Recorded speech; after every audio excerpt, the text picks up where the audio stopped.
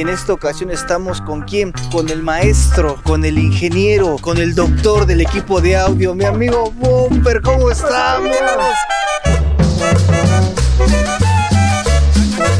¿Qué te parece si platicamos un poco sobre eh, su amplificación? Cuando vamos empezando, pues compramos miles de aparatos. Y en la tienda nos dicen, no, llévate este amplificador, te aguanta para cuatro bocinas y van a romper. Y lo compras con la ilusión de que tu sonido se escuche. Que una bocina, para cambiarla, no necesita que se vuele. Este es un Drive Rack, un PA2. Estas dos bocinas, si yo las conecto en paralelo, de 5 ohms de cada una, deben de salir dos y medio. Y en la tienda nos dicen, no, llévate este amplificador, te aguanta para cuatro bocinas y van a romper y van a hacer. Y, y lo compras con la ilusión de que tu sonido se escuche. Cuando llegaron decíamos, ya llegó el doctor, y ahí están los, ahí están los pacientes. Ya. para el Ecuador y el mundo. Somos.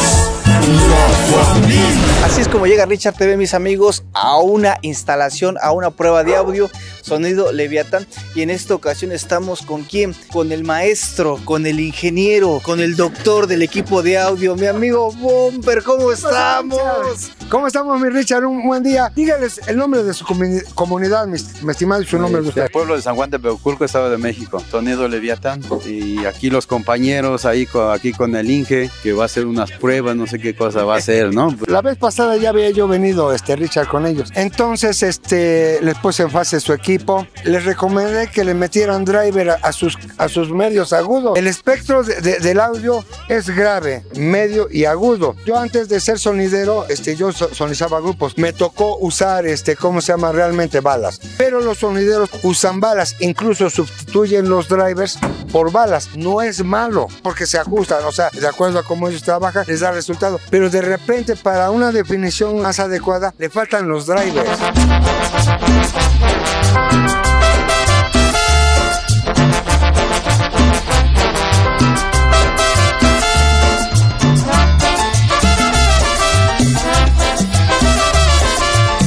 ¿Qué te parece si platicamos un poquito del Yorbi? Ya que pues sabemos que muchos compañeros sonideros les gusta mucho eh, este cajón. A todos los sonideros les gusta un, un grave presente, muy presente. Yo cuando, cuando andaba con, sonorizando grupos, no veía yo cajones como les llaman de rebote. Yo manejaba puros graves frontales. El grave frontal es aquel que tiene sus bocinas, las ves ahí. Este no, este cajón Jorvik tiene la bocina. Lástima que ahorita está tapado, pero la bocina viene aquí, se tapa y por medio del pabellón se supone que tiene un grave sonidero. Yo le llamo el grave sonidor.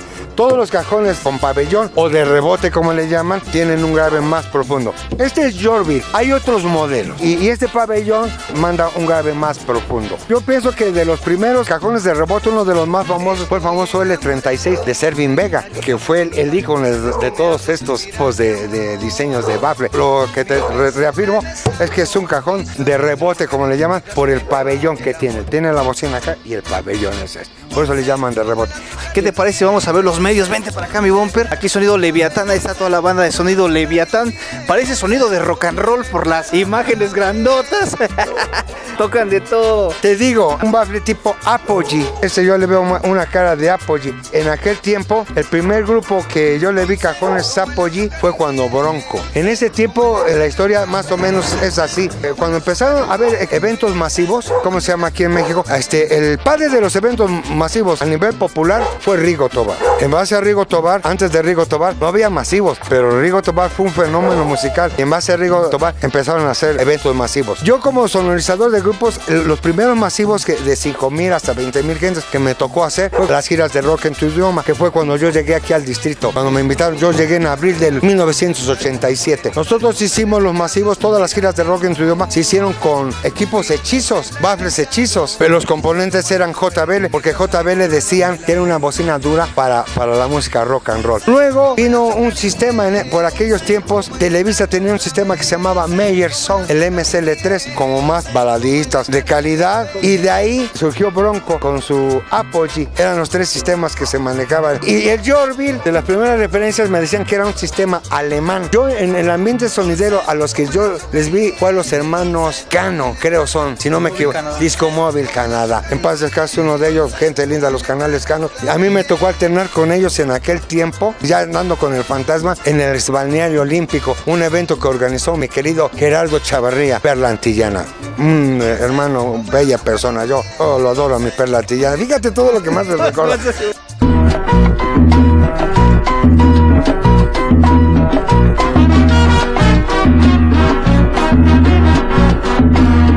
Importante para todos los que están viendo mi bumper, tú eres una persona que compartes tus conocimientos y en esta ocasión nos vas a explicar algo más allá sobre eh, cómo conectar la- la- las bocinas. Las bocinas, mi querido Richard, estas bocinas nominalmente dicen que son de 8 ohms. Acá dice que son de 8 ohms, ¿no?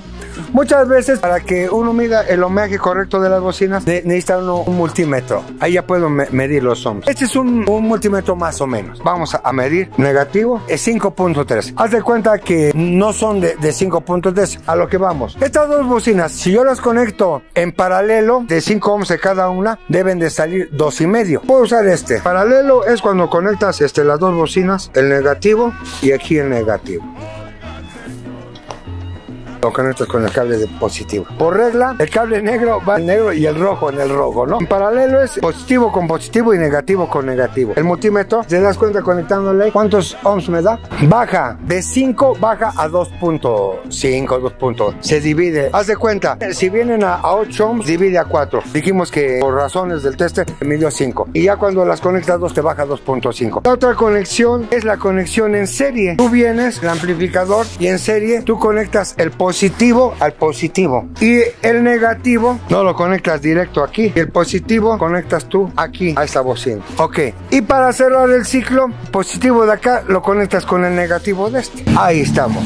Ya que los conectaste aquí, cuando tienes una conexión en paralelo, si tienes 8 ohms se divide a 4. O si tienes 5 ohms se divide a 2.5. Se duplica el ohmaje. En, en lugar de, de- bajarse, sube a 10. ¿Ya viste? Sí, se duplica el ohmaje. Conectando tus dos bocinas en serie, el ohmaje nominal se duplica. Y conectándolos en paralelo, el ohmaje nominal se divide. Son las dos formas de, de conectar las bocinas. Una bocina BNC de 1200 watts. Que vean las especificaciones de, de la bocina y un modelo de un amplificador que me pidieron a mí si podía uno. Hay que deduzcan y que me digan cómo conectarían esa bocina. De acuerdo a cómo le digan, nosotros les damos también la opción que nosotros creemos que puede resultar. Y, y mi bumper de Dime. serie paralelo, ¿cuál es la que a ti eh, recomiendas más? De acuerdo a la amplificación, la necesidad. Por ejemplo, cuando no hay mucha lana, hay amplificadores como el QSC. También en esta hoja de especificaciones indica que la bocina trabaja nominalmente a 8 ohms y lo mínimo que puede trabajar a 6.2 ohms. Las compañías de audio, cuando yo trabajé en el MES Music, eso lo veíamos nosotros por medio de un aparato que se llama osciloscopio. En el osciloscopio tú mandas un tono y ahí ves el rendimiento de la bocina. Por medio de un osciloscopio lo puedes hacer. También en esta hoja de especificaciones te indica que la bocina trabaja nominalmente a 8 y lo mínimo que puede trabajar a 6.2 ohms. Lo que quiere decir una cosa que nunca también se ha comentado y que la gente no sabe, que una bocina para cambiarla no necesita que se vuele. Comenten ustedes qué tal les parece la explicación que nos está dando nuestro amigo Bumper, porque estamos viendo y detrás de nosotros vean cómo están trabajando. cómo están dándole. que ya me lo terminen de acomodar las cosas. Continuamos.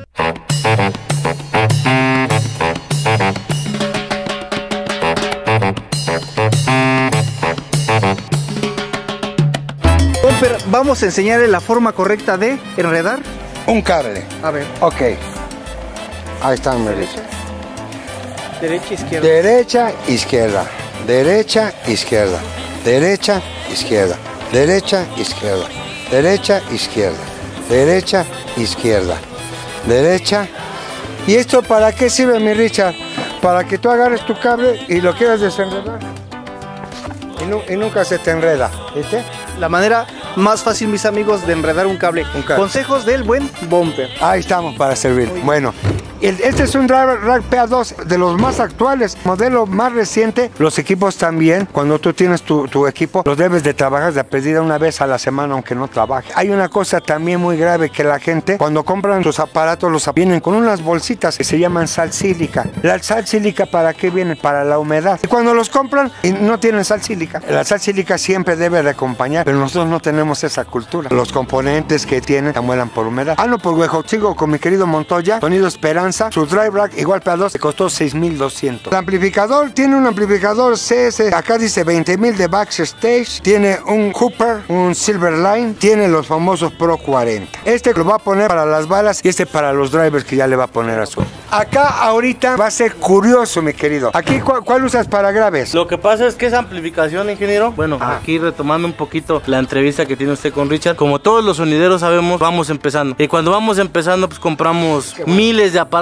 La realidad, los sonideros hacemos es vamos empezando, nos ofrecen un amplificador, lo compramos. Luego nos ofrecen otro de otra marca, lo volvemos a comprar. Y muchas veces vamos a República del Salvador y en República del Salvador nos acercamos a una tienda y en la tienda nos dicen, no, llévate este amplificador, te aguanta para cuatro bocinas y van a romper y van a hacer y, y lo compras con la ilusión de que tu sonido se escuche. Y muchas veces, la verdad, lo, lo que buscan las tiendas pues es vender, ¿no? Claramente está en lo cierto. Esos amplificadores los tenemos de reserva, ¿por qué? Porque fueron con los que empezamos. Ahorita lo que nos va a ayudar el ingeniero es que parte de esa amplificación la utilicemos para complementar lo que nos hace falta. Por ejemplo, un par de trompetas que vamos a implementar que pues nos han gustado, ¿no? Como ustedes pueden ver, ya vieron, este, ya tenemos dos módulos de baffles tipo Yorby.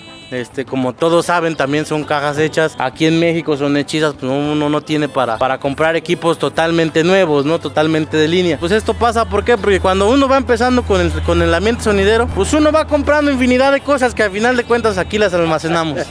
Pero bueno, pues así es esto. Que muchas veces traemos a infinidad también de ingenieros que pues te vienen, te conectan y te dicen, ya está, órale, trabaja. Pero ni siquiera se dan ese tiempo que tiene el ingeniero Bumper de explicarnos siquiera cómo se enreda un cable, porque hasta es donde se explicó. Hasta en eso tiene su ciencia, el cómo se enreda un cable. Le agradecemos infinitamente al ingeniero que nos comparte sus conocimientos y nos ayuda a cada vez ignorar menos. Uno de nuestros eslogan principales pues, es que somos el más aferrado, porque tanto mi papá como mi hermano como yo somos de un carácter que, híjole, nadie nos quiere. Pues quién sabe, Pero para mí también- son pan de dulce, ya los viste. Porque de sueños nunca se acaba. Y de eso vive, ¿no? Así es, de los sueños se vive. Ya viste. Pues para eso, vean mis amigos lo que hace nuestro amigo Bumper y llegando a estos lugares compartiendo su conocimiento. Y ya lo sabes, lo volvemos a comentar, si tú quieres que Bumper asista y Richard TV vayamos a conocer tu sonido y Bumper vaya y les enseñe todos sus conocimientos, Compartamos, compartamos. vamos a hacerlo, así es que dejamos teléfonos, información. Y pues mi Bumper, vente para acá mi amigo, de verdad yo te agradezco mucho. Que ahorita vamos a seguir viendo el video, el que pues hayas invitado a Bumper y pues afortunadamente Richard esté aquí, Esta es su casa, Richard, el ingeniero también Gracias, saben, gracias, con todo el gusto del mundo, lo recibimos aquí, poquito, se lo ponemos a sus órdenes también. La gente que nos quiera contratar les agradeceríamos mucho. Cuando llegaron decíamos, ya llegó el doctor, y ahí están los, ahí están los pacientes.